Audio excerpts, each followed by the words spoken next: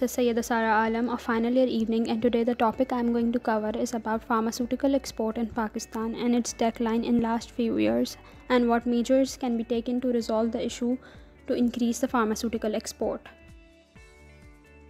understand the pharmaceutical export, it is important to know about the trade performance of pharmaceutical industry in Pakistan. Pakistan is a net importer of pharmaceutical drugs since inception, with import valued of 798 million US dollars and export of 218 million US dollars in 2019, leaving a deficit of 580 million US dollars.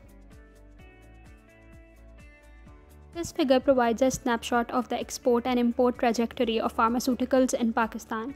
It depicts a rising deficit over the years with import increasing significantly but export rising only marginally. In 2019, pharmaceutical export contributed less than 1% to Pakistan total export decline can be explained by an export offering that is of low value and cover a narrow economic resource driven base. The economic complexity of Pakistan export basket has fallen by 20 places over the last 10 years. According to the Economic Complexity Index, Pakistan ranked 99th out of the 133 countries and in the last 5 years has fallen 3 places indicating that export have become relatively less complex. This shows that Pakistan has been unable to diversify its exports into higher value added goods such as pharmaceuticals time of independence, there were no pharma industry in the country. Today, Pakistan has 759 pharmaceutical companies, which 25 are multinational, accounting for a market share of 45 to 50 percent. The industry are dominated by local companies with a count of two thirds of market share, whereas multinational enjoy the remaining one third.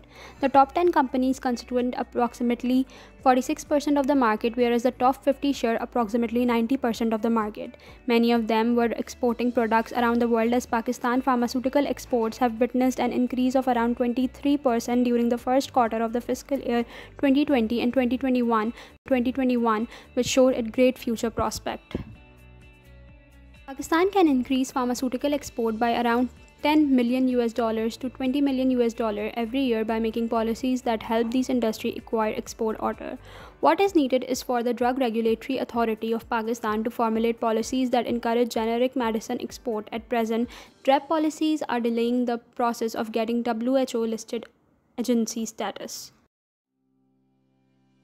Becoming part of a global pharmaceutical value chain is a matter of committed decision making in which both the government and the pharmaceutical company will have to take a medium to long term consistent approach toward policy, regulation, and investment, which means there are areas that are needed to be improved. Firstly, the government should streamline the registration process of medicine and facilitate better growth of the pharma industry by addressing its key issues so that this industry could boost export and contribute toward strengthening the economy. The emphasis that the government should provide a zero rated tax on the import of pharma plants and equipment, give relaxation in GST, and get it registered with the FDA. Pakistan can increase pharmaceutical export by making policies that help, that help these industry required export order. To be able to export medicine, a pharmaceutical company needs to have three things license to manufacture, GMP compliance report, and a product bioequivalency research study report. When all of these documents are completed, only then there will be countries allow registration of product for import. Sun Pharmaceutical Firm fulfilled the first two conditions but failed on the BE study report. Each BE study can cost up to 300,000 US dollars and our local pharmaceutical companies do not have the ability to fund such studies. This is the reason that no Pakistani pharmaceutical company is exporting its product to European countries, Japan, Australia or Russia.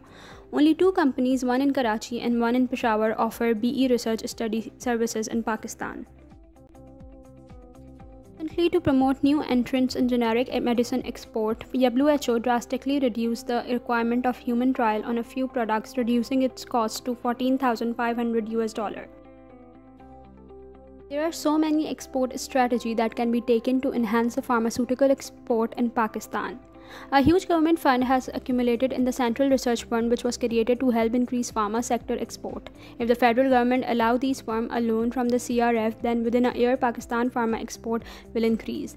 The best thing is that it will not cost the government anything as the loan will be paid back from companies' export profits. The plan is also sustainable as the pharma companies will continue new BE research study on new products to increase their export portfolio. Also, government role must be limited to providing an overall enabling environment for manufacturing in industrial park. No targeted allocation of government fund.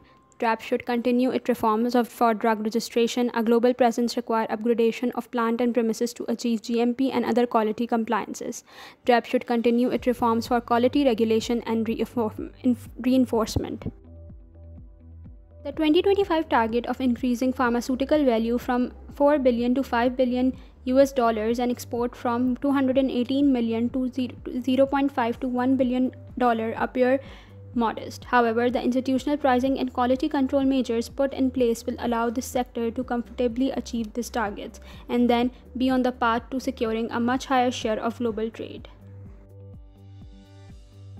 As Pakistan prepares the enabling environment for attracting investment and global recognition as a producer of quality medicine and vaccines, an internationally competitive pharmaceutical sector will help improve Pakistan's overall image as a modern, modern developing nation contributing to global welfare.